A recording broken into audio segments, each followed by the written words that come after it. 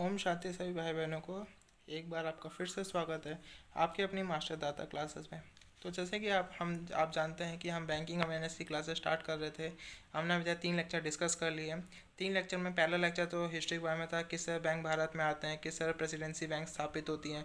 Bank of Hindustan आते हैं presidency bank जो है फिर मर्ज हो जाती है इंपीरियल बैंक ऑफ़ इंडिया फिर वो वो सेंट्रल बैंक की तरह काम करती है। जब तक मतलब वर्ल्ड वॉर आता है, उस समय बैंकिंग क्राइसिस होती है। भारत में बहुत सारी प्रॉब्लम होती है बैंक की वजह से। भारत क्या पूरी दुनिया में ही होती है एक तरह से? फिर धीरे धीरे प्रेसिडेंसी बैंक्स मर्ज हो जाती हैं आपस में। मर्ज होने के बाद फिर वो इंपीरियल बैंक ऑफ़ इंडिया बनता है। फिर इंपीरियल बैंक जो ऑफ़ इंडिया जो होता है, आपका सेंट्रल बैंक की तरह काम करता है भारत के लिए। उसके बाद 1934 में आर बी आई एक्ट आता है।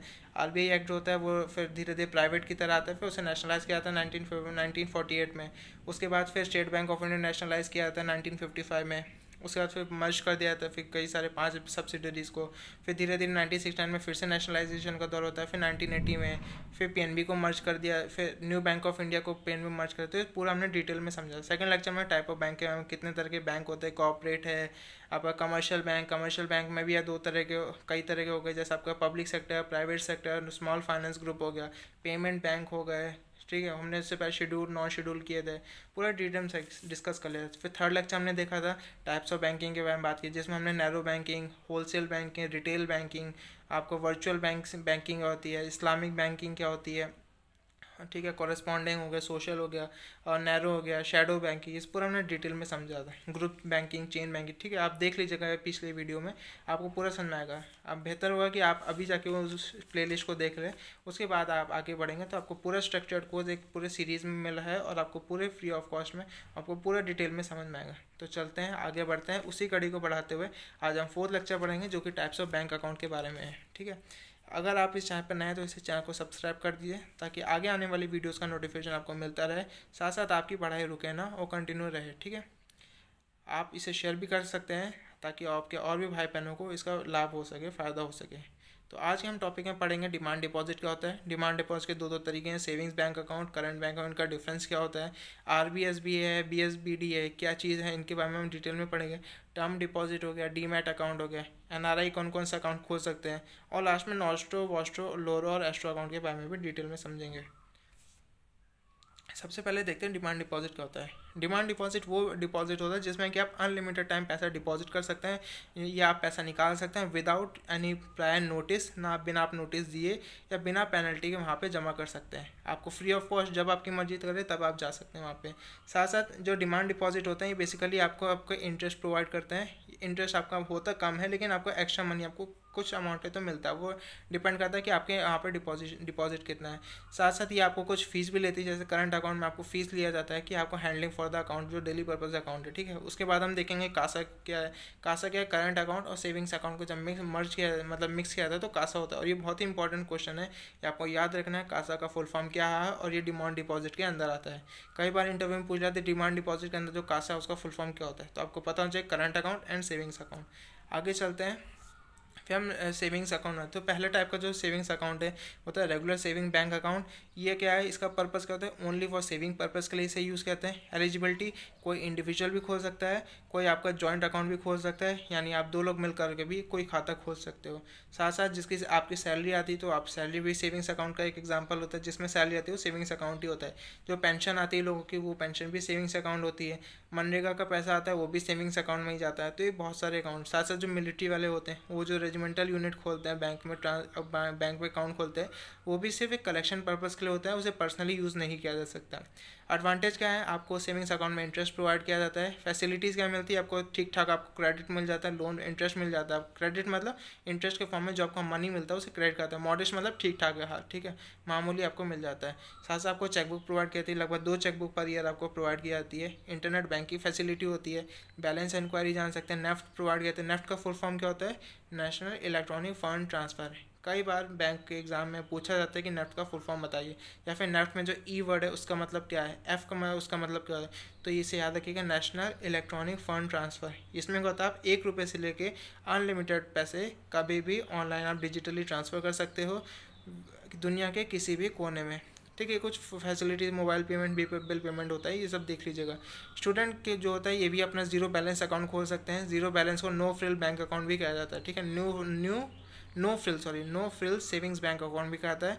इसको खोलने के लिए कुछ के के नॉर्म्स का नाम के का फुल फॉर्म क्या है? नो योर क्लाइंट या फिर नो योर कस्टमर भी आप कह सकते हैं। साथ साथ आपको जो सेविंग्स अकाउंट में आपको जो इंटरेस्ट मिलता है फोर से सिक्स परसेंट होता है। प्राइवेट सेक्टर बैंक जनरली आपको थोड़ा ज़्यादा देती है आपको। सिक्स परसेंट से ज़्यादा सेवन टू एट परसेंट आपको मिल जाता है प्राइवेट में। आप कोई रेस्ट्रिक्शन नहीं, जितनी बार निकाल डिपॉजिट करना चाहे डिपॉजिट कर सकते हो। लेकिन विड्रॉल में रेस्ट्रिक्शन है। आप दो बार, तीन बार निकालोगे अदर एटीएम से तो कुछ चार्ज कटेगा और अगर खुद का एटीएम है, यानी उसी बैंक का एटीएम आप यूज़ कर रहे हो तो आपको मतलब आपको फाइव टाइम्स तक आप निकाल सकते हो। सम बैंक्स अकाउंट जो होते हैं, वो क्या होता है, एक मिनिमम अमाउंट रखना है। कुछ बैंक अकाउंट में आप मिनिमम अमाउंट की मतलब कंडीशन होती है टर्म्स एंड कंडीशन होती है कि आपको मिनिमम इतना रखना ही रखना है। जैसे कि मेट्रो सिटीज़ है, वहाँ पे आपका मिनिमम बैलेंस जो है थ्री थाउज़ेंड है। थ्री थाउज़ेंड से आप कम करोगे तो बैंक चार्जेस काट काट लेंगे पैसे। फिर सेमी अर्बन एरियाज़ है, ठीक है? अर्ध शहरी जगह बैंक जो है, वहाँ ब्रांचेज वहाँ दो हज़ार रखना है और गाँव में मिनिमम हज़ार रुपये रखना है। ये पॉलिसी कब आई? जब डिमोनेटाइजेशन हुआ, ठीक है? अगले देखते हैं basic savings bank deposit account इसमें क्या होता है इसका पुराना नाम क्या था? नो फ्रिल्स अकाउंट था जिसमें कि आपको कोई भी फैसिलिटीज़ नहीं प्रोवाइड करती मोबाइल रिचार्ज नहीं होता था बिल पेमेंट नहीं होता था एन ई नहीं होती प्रोवाइड की जाती थी। साथ साथ आपको इतना इंटरेस्ट अच्छा खासा इंटरेस्ट भी आपको नहीं मिलता आज के हिसाब से इतना इंटरेस्ट आपको नहीं मिलता था। तो वो क्या है पुराना हुआ था। दो हज़ार बारह में कांग्रेस गवर्नमेंट ने इसको चेंज कर दिया गया है और इसको bank basic basic savings bank deposit account की तरह इसे एक्ट, एक्ट मतलब काम करता है ठीक है? एलिजिबिलिटी आप दस साल का कोई भी छोटा बच्चा उसके बाद आपका उसका भी basic saving bank deposit account खोल सकता है, लेकिन ऐसे बहुत सारे लिमिटेशन है। लिमिटेशन मतलब बहुत सारे रेस्ट्रिक्शन लगा रखी है कि आप एक महीने में पचास हज़ार से ज़्यादा आपके अकाउंट में पैसा नहीं होना चाहिए। एक साल में वन लाख से ज़्यादा आपका डिपॉजिट का कलेक्शन नहीं होना चाहिए। वन लाख से ज़्यादा आपका बैंक बैंक बैलेंस नहीं होना चाहिए, ठीक है? साथ साथ नॉट विड्रॉल एंड आप वह टेन थाउज़ेंड से ज़्यादा ना विड्रॉ कर सकते हो, ना ही किसी को ट्रांसफ़र कर सकते हो विद इन अ मंथ एक मंथ के अंदर। इसको ओपन करने का तरीका क्या है? अगर आपका बैंक में पर्सनल खाता है पहले से सेविंग्स अकाउंट है और आप खोलना चाह रहे हो तो आपको सेविंग्स अकाउंट बंद करके ही ये खाता खोला जा सकता है। या फिर अगर आप स्टेट बैंक ऑफ़ इंडिया में आपको सेविंग्स बैंक अकाउंट तो आप दूसरे किसी भी बैंक में जाके ये basic saving bank deposit account खोल सकते हो, कोई प्रॉब्लम नहीं लेकिन अगर आपको उसी बैंक में सेविंग्स भी चाहिए मतलब रेगुलर सेविंग बैंक अकाउंट भी चाहिए और bank saving basic saving bank deposit account भी चाहिए तो आपको एक तो बंद करना पड़ेगा, तभी आप ये वाला खोल सकते हैं, ठीक है? साथ साथ इसमें कोई भी बैंक जो है वो चार्ज फैसिलिटीज़ नहीं काटती साथ साथ आपको ATM card debit card RuPay card भी दिया जाता है, ये कुछ फैसिलिटीज़ है जो गवर्नमेंट प्रोवाइड करती है। आगे हम करंट अकाउंट के बारे में बात करेंगे। करंट अकाउंट कोई भी रेसिडेंट सिंगल खोल सकता है या फिर जॉइंट अकाउंट भी खोल सकता है। कोई एसोसिएशन है कंपनी है या रिलीजियस इंस्टीट्यूशन एजुकेशनल पर्पस है क्लब्स हैं चैरिटेबल इंस्टीट्यूशन वो भी से कमर्शियल अकाउंट में करंट अकाउंट को यूज़ कर सकते हैं। ठीक है? फैसिलिटीज़ क्या क्या आपको प्रोवाइड की जाती हैं? पेमेंट जो होता है वो आपको can be done unlimited number of time आप कितनी बार भी इसे पेमेंट कर सकते हो इस बैंक अकाउंट से। Funds can be remitted from any part आपकी दुनिया, आप देश के किसी भी कोने में हो, आप इजिली इस मतलब मनी को यूज़ कर सकते हो, जो कि आपका करंट अकाउंट में डिपॉजिटेड है, ठीक है? साथ साथ आपके ओवरड्राफ्ट फैसिलिटीज़ होती है। ओवरड्राफ्ट फैसिलिटीज़ मतलब आपको किसी बिज़नेस में हो, ठीक है? आपकी शॉप है, कोई आपका छोटा मोटा बिज़नेस है तो आपके फिफ्टी थाउज़ेंड किसी डीलर को देने हैं, या फिर रिटेलर को डीलर को फिफ्टी थाउज़ेंड रुपये देने होलसेलर को, और आप पास इस समय ट्वेंटी फाइव थाउज़ेंड है। तो आपको, और देना आपको आज ही है अर्जेंट तो बैंक क्या करेगा? आपको ओवरड्राफ्ट फैसिलिटी प्रोवाइड करते ही। ओवरड्राफ्ट फैसिलिटी मतलब आपके पास जितना अमाउंट है, उसके साथ साथ जो कमी पड़ रही है, वो आपको शॉर्ट टर्म लोन की तरह देगी। उसमें इंटरेस्ट नहीं लेती है बैंक और वो जब देने से पहले वो आपकी पूरी हिस्ट्री निकालती कि आपका मतलब मंथली वाइज आपने कितना डिपॉजिट किया पर डे आपकी कितनी इनकम है? सिर्फ़ आज ही आपको ज़रूरत पड़ रही है, आपका छोटे छोटे ट्रांजेक्शन आपके, वो पूरी डिटेल निकालती है। अगर आपके बड़े ट्रांजेक्शन है तो ही आपको ओवरड्राफ्ट फैसिलिटी मिलती है। ठीक है मतलब ओवरड्राफ्ट मतलब शॉर्ट टर्म लोन की तरह आप इसे देख सकते हैं। इंटरनेट बैंकिंग होती होती है इसमें भी। साथ साथ इनमें हावे बैंक में चार्ज इसमें क्या होता है बैंक चार्ज लेता है। सेविंग्स में क्या है चार्ज देता है इंटरेस्ट के फॉर्म में यहाँ पे चार्ज लेता है, ठीक है? जनधन योजना जो है, एक बहुत बड़ा एक मतलब प्रधानमंत्री मोदी जी के द्वारा इसे योजना को लॉन्च किया गया था, जिसमें ये एक basic saving bank deposit account है, जिसमें कि आप मतलब पैसा रख सकते हो, लेकिन आपको टेन थाउज़ेंड तक का ओवरड्राफ्ट फैसिलिटी प्रोवाइड किया था। यानी पहला योजना थी जिसमें कि सेविंग्स अकाउंट में ओवरड्राफ्ट फैसिलिटीज़ की ओवरड्राफ्ट फैसिलिटी आपको प्रोवाइड की गई। ठीक है? जन धन योजना में ओवरड्राफ्ट फैसिलिटी प्रोवाइड की गई है, लेकिन ये करंट अकाउंट नहीं है, ये ये सेविंग्स अकाउंट है। समझ गए? आगे बढ़ते हैं। अब टर्म डिपॉजिट की पढ़ते हैं। हमने डिमांड डिपॉजिट पढ़ लिया, अब टर्म डिपॉजिट पढ़ते हैं। टर्म डिपॉजिट क्या होता है? जैसा कि इसमें नाम है टर्म डिपॉजिट या फिर टाइम डिपॉजिट ठीक है, ये इसमें इन्वेस्टमेंट जो होती है made for a predetermined period एक लिमिटेड पीरियड के लिए आपको देना पड़ता है। ये मंथ से लेकर के कई सालों तक हो सकते हैं। यानी छः मंथ से लेकर दस साल या एक सौ बीस महीने तक इसे यूज़ कर सकते हैं। जो फंड होता है, इसमें बहुत हाई इंटरेस्ट रेट पे मिलता है। जो डिपॉजिटर क्या होता है रिसीवर प्री उसको मतलब सेविंग्स अकाउंट से ज़्यादा इंटरेस्ट उसको मिलता है, ठीक है? इसमें दो एग्ज़ाम्पल हो गए रिकरिंग डिपॉजिट और फिक्स डिपॉजिट जैसे मैंने बताया था। जो डिपॉजिट डिमांड डिपॉजिट है, उसमें कासा होता है और जो टर्म डिपॉजिट है, उसमें राफा। राफा मतलब रिकरिंग अकाउंट डिपॉजिट और आपका फिक्स्ड फिक्स्ड अमाउंट डिपॉजिट ठीक है? अब रिकरिंग डिपॉजिट अकाउंट या फिर आर डी हम बात करते हैं। आर डी का पर्पज़ करता है? To save certain amount of money regularly for a certain period of time and and earn a high interest rate ठीक है, उसमें हाई इंटरेस्ट रेट पाना है, लेकिन इसका एफ़ डी से इंटरेस्ट रेट थोड़ा कम होता है। आर डी का एग्ज़ाम्पल सोचना है कि अगर मुझे दो साल बाद एक कार खरीदनी है, ठीक है, आपको अर्टी अर्टिगा खरीदनी है या फिर आपको आपको कोई स्विफ्ट खरीदनी है डिज़ायर खरीदनी है आप इसमें आर डी खोल सकते हो। उसमें क्या आपको इंस्टॉलमेंट वाइज हर महीने आपको आपको दो साल बाद आपको डिज़ायर खरीदनी तो आप क्या है हर महीने, यानी चौबीस महीने तक आपको लगातार कुछ कुछ अमाउंट में जब मनी लमसम करके वहाँ पे डिपॉजिट करना है, और वो आपका जब कंप्लीट होगा बैंक का इंटरेस्ट इंक्लूड करके आप उसको लास्ट टाइम में इंस्टॉल कर मतलब विड्रॉ कर सकते हो। एलिजिबिलिटी क्या है? कोई भी सिंगल अकाउंट हो सिंगल पर्सन हो, या फिर आपका जॉइंट अकाउंट भी खोल सकता है। कई एसोसिएशंस हो गए क्लब्स हो गए इंस्टीट्यूशंस हो गए चैरिटेबल फंड्स हो गए इंस्टीट्यूशन हो गए क्लब्स हो गए, वो भी खोल सकते हैं। जैसा करंट में था वही लोग खोल सकते हैं मतलब। नॉमिनेशन फैसिलिटी इसमें नहीं होती है। आपने खोला तो आपको ही मिलेगा। ये नहीं कि आपको, नहीं नॉमिनेशन फैसिलिटी होती है। मतलब आप अगर रहे खुदा ना खासा अगर कुछ हो जाता है तो आपकी मतलब आगे भी उसे प्रोवाइड किया जा सकता है। उसे नॉमिनी जो आप बनाओगे उसको आरडी का सारा जो मनी है वो जा सकता है। Periodic monthly instalment can be done for any ठीक है पचास रुपये से लेके जितना भी आपने अपनी किस्त कट, कट कटवाई है यानी इंस्टॉलमेंट कटवाई वो आपकी जा सकती है ठीक है? मिनिमम पचास रुपये से ऊपर है।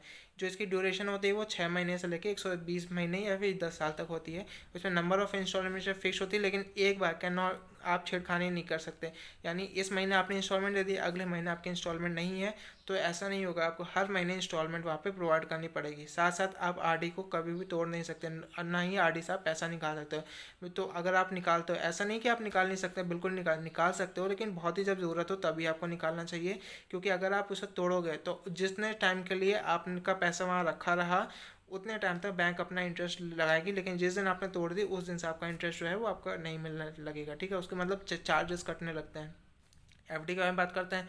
एफ़ डी जो होता है, ये वन टाइम डिपॉजिट है, अगर बहुत सारा पैसा है, ठीक है? आप करोड़पति खेल के आए बहुत अच्छी बात है, आप जाना चाहिए, आपको जाना चाहिए। अगर के बी सी खेल के आते हैं आप करोड़पति बन गए, बहुत ही अच्छी बात है। आपको सत्तर अस्सी लाख तक सारा मतलब काट पीट के लोन वोन इंटरेस्ट टैक्स वैक्स काट करके आपको सत्तर अस्सी लाख इन हैंड मिलेगा। तो आप क्या कर सकते हो?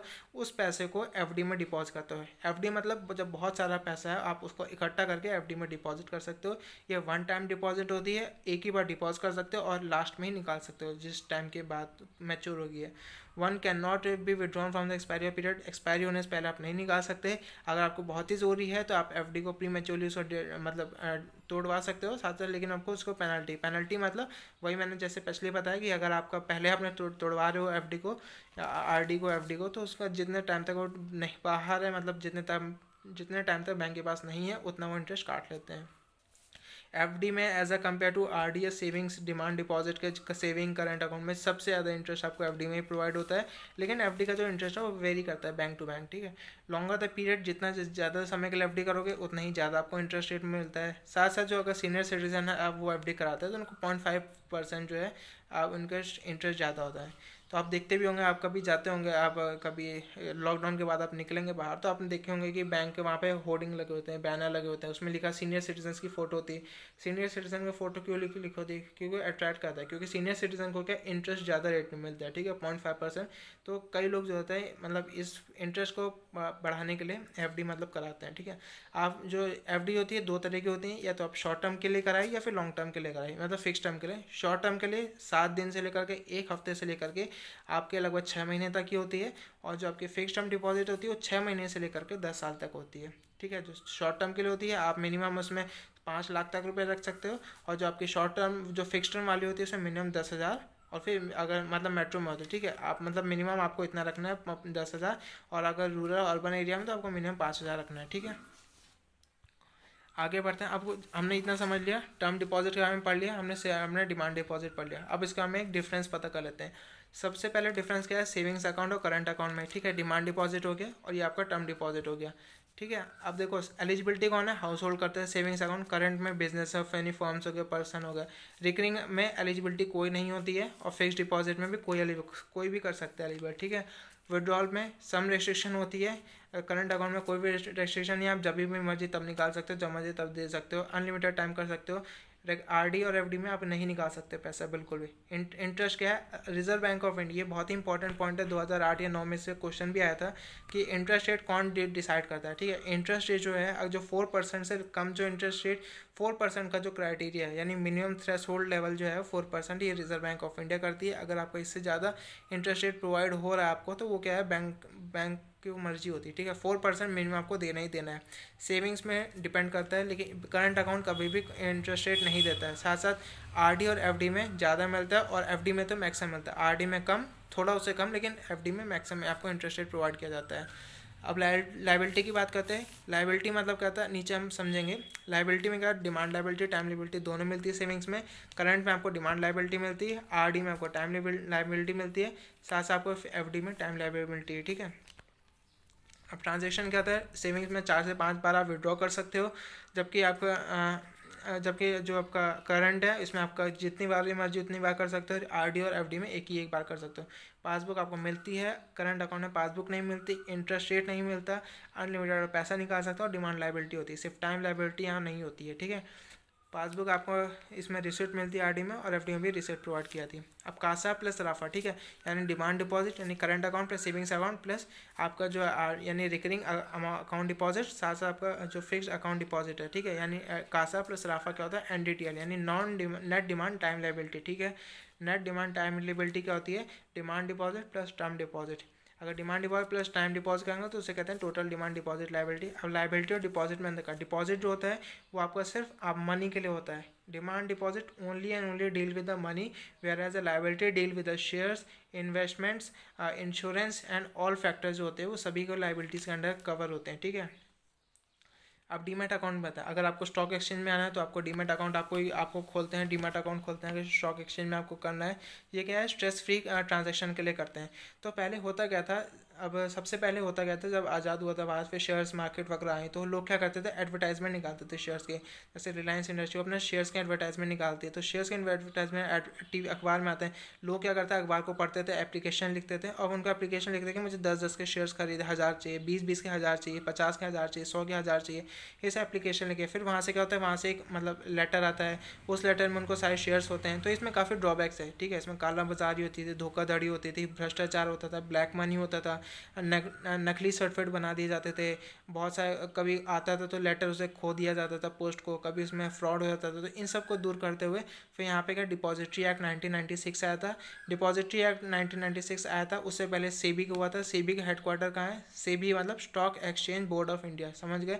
सेबिक हेडक्वार्टर है मुंबई में। इस समय उसके चेयरमैन कौन है? अजय त्यागी। अजय त्यागी समय के उसमें चेयरमैन है हेडक्वार्टर मुंबई में। सेबी 1992 में आई थी अंडर सेबी एक्ट 1992 ठीक है? किस लिए आया था? ताकि जो जो डीमेटेरियलाइजेशन है शेयर एक्सचेंज स्टॉक मार्केट उसको उस पर नज़र रखने के लिए। इतना क्लियर हो गया। फ़र्स्ट डिपॉजिटरी कहाँ पे आई थी? जर्मनी में आई थी। जर्मनी में कब आया था? 1947 में। 1947 में जर्मनी में फ़र्स्ट स्टॉक मार्केट मतलब डिपॉजिटरी की स्थापना हुई थी। एलिजिबिलिटी कौन है? डीमेट अकाउंट खोलने के लिए। यानी कोई भी इंडिविजुअल जो कि नॉन रेसिडेंट इंडियन है एन आर आई वो भी खोल सकते हैं। फॉरन इंस्टीट्यूशन इन्वेस्टर कॉर्पोरेट हो गया क्लियरिंग हाउस है फाइनेंशियल इंस्टीट्यूशन क्लियरिंग म्यूचुअल ये सब होते हैं फैसिलिटीज़ क्या मिलती है आपको? डी मटेरियल डी मटेरियल मिलता है। सेल और परचेज कर सकते यानी मोटा मोटा देखा तो आप क्या है? सेल और परचेज शेयर्स ही कर सकते हो डीमेट अकाउंट के अंडर पब्लिक प्रोविडेंट फंड होता है पीपीएफ पीपीएफ एक ऐसी स्कीम है under the PPF act 1968 by the central government की तरफ़ से इट इज़ सेफ़ बहुत ही सेफ़ होता है। और गवर्नमेंट बैक इन्वेस्टमेंट स्कीम होती है, जिसमें कि आपका हाईएस्ट इंटरेस्ट रेट आपको प्रोवाइड किया जाता है। साथ साथ आपको टैक्स रिलैक्सेशन भी मिलता है इनकम टैक्स के तहत। अगर आपका पीपीएफ अकाउंट है तो आपको वन लाख तक का जो है अमाउंट जो टैक्स है, वो आपको छूट मिल जाती है रिबेट मिल जाती है, ठीक है? अब इसमें क्या है मैक्सिमम पीरियड आप पंद्रह साल के लिए पब्लिक प्रोविडेंट फंड करा सकते हो। मिनिमम इन्वेस्टमेंट पाँच हज़ार पाँच सौ रुपये है और मैक्सिमम जो है, एक लाख तक आप उसमें डिपॉजिट कर सकते हो। ठीक है under section eighty C of I income tax act ठीक है। कैन भी अब ये आपको बारह, अगर आप मतलब आपको फिक्स अमाउंट ही होना चाहिए, ये जो पी पी एफ़ होती है तो स्पाउस के नाम किया जाता है। मतलब आप हस्बैंड है तो वाइफ के लिए वाइफ है तो हस्बैंड के लिए किया जा सकता है। साथ साथ आप, और बच्चों के लिए भी इसे पब्लिक प्रोविडेंट फंड को कर सकते हैं। पब्लिक प्रोविडेंट फंड को कोई भी एन को इशू नहीं किया जा सकता है। ठीक है कैन भी ओपन सिर्फ़ नेशनलाइज बैंक प्राइवेट बैंक या फिर पोस्ट ऑफ़िस में पब्लिक प्रोविडेंट फंड को खोल सकते हैं। इफ़ यू अगर आप भूल करना, अगर आप मतलब प्रोवाइड करना भूल गए इंस्टॉलमेंट भरना भूल गए तो क्या फिफ्टी रुपीज़ की पेनल्टी आपको भरनी पड़ती है? साथ साथ जितने साल वो इनएक्टिव रहा है तो आप पर डे यानी वो पेनल्टी तो भरनी पड़नी साथ में प्लस फाइव हंड्रेड रुपीज़ भी आपको डिपॉजिट करने पड़ते हैं। पब्लिक फैक्ट जो पी पी एफ़ है, वो एन आर आई नहीं खोल सकता। पी पी एफ़ जो होता है कैन भी उसे ट्रांसफ़र कर सकता है, किसी भी प्लेस में कर सकते हैं, लेकिन दूसरे लोग के दूसरे नाम पे नहीं कर सकता। ठीक है, दूसरी जगह, दूसरे बैंक में कर सकते हैं, लेकिन कोई मतलब दूसरे आदमी या और किसी पर्सन के नाम पे उसे इशू नहीं कर सकते। अगर कोई डेथ हो जाती है तो उसमें क्या होता है, जितना अमाउंट है, उस, उतना उसके जो फैमिली है, उसको प्रोवाइड किया जा किया जा सकता है। ऐसा नहीं होता है कि आपके फैमिली उसको कंटिन्यू करें। यानी पंद्रह साल है फोर्टीन ईयर्स में कोई दुर्घटना घट आती है तो फैमिली उसको एक साल और बढ़ा नहीं सकती है। फोर्टीन ईयर्स का जितना भी डिपॉजिट है, उसको फैमिली को प्रोवाइड कर दिया जाता है। साथ, अगर आप जो हो जाता है फिफ्टीन ईयर्स पूरे हो जाते हैं तो आपको उसको निकाल सकते हो। साथ साथ अगर आप चाहते हो तो फाइव फाइव के ग्रुप में उसे बढ़ा सकते हो। यानी पंद्रह साल तो हो गया, पाँच साल और बढ़ा दिया, फिर अगले पाँच साल के लिए फिर ऐसे बढ़ा सकते हो आप। अब एनआरआई करते हैं। एनआरआई कौन होते हैं? एनआरआई वो होते हैं जो कि या तो जैसा कि आप इसमें दिख रहा है पर्सन ऑफ़ इंडियन नेशनैलिटी और origin who reside abroad for business business के लिए वोकेशनल ट्रेनिंग के लिए या एम्प्लॉयमेंट के लिए जाते हैं, उनको एनआरआई कहा जाता है और फिर वहीं रहते हैं, ठीक है? इनडेफिनेट पीरियड आप घूमने जाते हो तो आप तो फिक्स टाइम पे जाते हो ना? लेकिन एन आर क्या है वो अनलिमिटेड टाइम के लिए कोई मतलब बता के नहीं आते कितने टाइम के लिए आ रहे हो। जॉब के लिए आ रहे हो तो वहीं पर सेटल भी हो सकते हो ना एन कहा जाता है। साथ साथ आप गवर्नमेंट ऑफिशियल हो तो आपको जैसे आई एम है या फिर कोई नेक्स्ट इंडियन मिशन है या वर्ल्ड बैंक के कोई किसी काम के लिए आया तो वो भी एनआरआई के तौर पर आते हैं। साथ साथ आपके इंडियन पेरेंट्स जो हैं ग्रैंड पेरेंट्स हैं, वो इंडियन हैं और आप भी इंडियन हो लेकिन फॉरन रह रहे हो जॉब कर रहे हो तो वो भी आप और आप पास इंडियन पासपोर्ट है तो आप एनआरआई कहलाते हो, ठीक है? अब कौन एनआरआई के तौर पर नहीं आते हैं? एनआरआई वो नहीं होते हैं, जैसे कोई बच्चे होते हैं, वो फॉरेन यूनिवर्सिटीज़ में पढ़ते हैं तो एन आर की कैटेगरी में नहीं आते हैं। साथ साथ जो टूरिस्ट होते हैं वीज़ा लेकर के आते हैं, वो भी मतलब जो पासपोर्ट लेकर आते हैं, वो भी एनआरआई नहीं होते हैं। अब एन आर आई अकाउंट खोलते हैं, तीन तरह के एन आर आई अकाउंट है। पहले एन आर ओ है। एन आर ओ का मतलब होता है non residential non residential ordinary account can be open by any person outside India कोई भी खोल सकता है। कोई भी एन अकाउंट खोल सकते हैं जो कि फॉरेन में रह रहा है। वैन अब resident become a non resident his domestic जो उसका जब कोई भी आप देश छोड़ के जाते हो बाहर किसी बिज़नेस से, कोई काम के लिए तो ऑटोमेटिकली जो आपको इस समय सेविंग्स अकाउंट है, वो एन आर ओ अकाउंट में ऑटोमेटिकली ट्रांसफ़र होता है। ड्यूरेशन क्या है इसमें? कासा रास्ता जो अगर, यानी करंट अकाउंट सेविंग्स अकाउंट और जो term R D F D जो है, वो मिनिमम एक साल के हो आप उसे बढ़ा भी सकते हो। N R I can open new N R E account है जॉइंट अकाउंट भी के नाम पर भी खोल सकता है। मतलब इंडियन उसका कोई और फैम रिलेशन में तो वो और वो साथ से एन आर आई दोनों मिलकर खोल सकते हैं। In the name of two home mono resident ठीक है? अब अगला आता है N R E R act आता है, ठीक है? तो ये क्या होता है? Non resident external rupee account इसे कहते हैं। सब उन्नीस सौ सत्तर में इसे लाया गया था। इसमें आप कासा, रासायनिक डिमांड डिपॉजिट और टर्म डिपॉजिट दोनों इसमें आते हैं। ये रुपी अकाउंट जो होता है and N R I can remit money to India from the funds abroad ठीक है? इट्स अ रुपी अकाउंट होता है, ठीक है? आप फॉरन से जो पैसा भेजोगे, ठीक है? आपने फॉरन में डॉलर कमाए, फैमिली आपके इंडिया में रहती तो आप फॉरन में दस डॉलर, बीस डॉलर, हज़ार डॉलर जितने भेजोगे तो ऑटोमेटिकली जब ट्रांसफ़र करोगे तो जो डॉलर्स है, वो ऑटोमेटिकली रुपये में कन्वर्ट होती है, किसमें? N R E R A account में। Opening of N R E account jointly with a person resident is India is not permitted ठीक है? N R E R A account सिर्फ़ वही पर्सन खोल सकता है जो जो बाहर रह रहा है। इंडिया में जॉइंट अकाउंट परमिशन नहीं है इस अकाउंट को खोलने के लिए। अगला है F C N R account scheme होती है। ये क्या होता है? Foreign currency non resident account ठीक है? वो उन्नीस सौ सत्तर में आता है, ये उन्नीस सौ तिरानवे में। इसमें क्या होता है? ओपन ही फॉरेन करेंसी में अकाउंट खोला जाता है। जो आपका, जो आप डॉलर में भेजो तो अमाउंट जो है डॉलर में ही रहेगी। अगर आपने बाहर से हज़ार डॉलर भेजे तो इंडिया में भी हज़ार डॉलर के रूप में ही रहेगी। ये क्या होता है? कुछ स्टैंडर्ड करेंसी जैसे यू एस डॉलर हो गया यूरो हो गया, आपका ग्रेट ब्रिटेन पाउंड्स हो गया Japanese yen Canadian dollar Australian dollar इस में खोल सकते हैं। Open only in the form of term आप सिर्फ़ टर्म डिपॉजिट नहीं आर डी एफ़ डी कर सकते हो, लेकिन आपको सेविंग्स और करंट अकाउंट नहीं खोल सकते। ये एक साल से पाँच साल के लिए होती है। फिर रेसिडेंट फॉरन करेंसी अकाउंट करते हैं useful for retaining returning N R I to deposit their foreign currency in India या करंट अकाउंट सेविंग्स अकाउंट इसमें डिमांड डिपॉजिट खोल सकते हो। Funds can be withdrawn from when necessary जब भी आपको ज़रूरत हो तो आप पैसा निकाल सकते हो और इंडियन रुपीज़ में डिपॉजिट नहीं हो सकती, ठीक है? अब नौशा अकाउंट कहता है? ठीक है, अगर जैसे आपका नौशा दीज अकाउंट्स है हेड इन फॉरेन बैंक जैसे पंजाब नेशनल बैंक का बैंक ऑफ़ अमेरिका में अकाउंट है, ठीक है? तो ये कहता है, एक बैंक जब दूसरे बैंक में अकाउंट खोलते हैं, उसे नौशा अकाउंट कहा जाता है। ये हमेशा फॉरेन करेंसी में खोली आती है। वॉशो अकाउंट क्या होती है? जैसे कि बैंक ऑफ़ अमेरिका का, यानी फॉरेन नौशो अकाउंट क्या है? जब इंडियन बैंक का फॉरेन में होगा वॉशो अकाउंट क्या है? जब फॉरेन बैंक का इंडिया में यानी फॉरनर्स इंडिया आ रहे हैं और नौशो में क्या इंडियंस बाहर जा रहे हैं। समझ गए? इतना हो गया। लोरो अकाउंट क्या होता है? Such accounts are use for two bank ठीक है? ये दो बैंक के लिए होता है मेकिंग ट्रांजेक्शन जैसे कि आपका एक्सिस बैंक एक्सिस बैंक को बैंक ऑफ़ अमेरिका पैसा भेजना तो तो लेकिन क्या है? बैंक ऑफ़ अमेरिका का पैसा किसमें आता है? वो क्या है? स्टेट बैंक ऑफ़ इंडिया में उसका अकाउंट है, ठीक है? स्टेट बैंक ऑफ़ इंडिया में बैंक ऑफ़ अमेरिका का अकाउंट है। तो एक्सिस बैंक क्या करेगी? स्टेट बैंक ऑफ़ इंडिया जाएगी, वहाँ पे उस जो बैंक ऑफ़ अमेरिका वहाँ पर डिपॉजिट करेगी, ठीक है? यानी मीडियम यानी जो ब्रोकर है या इंटरमीडिएट कौन हो रहा है? स्टेट बैंक ऑफ़ इंडिया ठीक है? तो लोअर अकाउंट क्या थर्ड पार्टी द्वारा जो ट्रांजेक्शन होते हैं, उसको लोअर अकाउंट करते हैं। यानी थर्ड पार्टी कौन हो गया स्टेट बैंक ऑफ़ इंडिया अब एस्क्रो अकाउंट का होता है it is use only for a transaction between दो पार्टी के बीच में होता है for temporary pass and account is held by the third party समझ गए? ये था पूरा ओवरव्यू ये इतने इंपॉर्टेंट नहीं है पे ये नोस्ट्रो, वॉस्ट्रो है, लोरो है एस्क्रो ये आता नहीं, लेकिन आपको पता होना चाहिए, क्योंकि इंडियन बैंक ये फैसिलिटीज़ भी प्रोवाइड करती है, ठीक है? Thanks for watching this serial episode आपको कैसा लगा आप ज़रूर कमेंट करके बताइएगा और इसको शेयर करिए लाइक कीजिए सब्सक्राइब करिए ताकि और बच्चे तक ये वीडियो पहुँचे और वो भी इसका लाभ उठा सकें। तो ये हमारा चौथा लेक्चर पूरा हो गया। चौथे लेक्चर में हमने क्या देखा आज?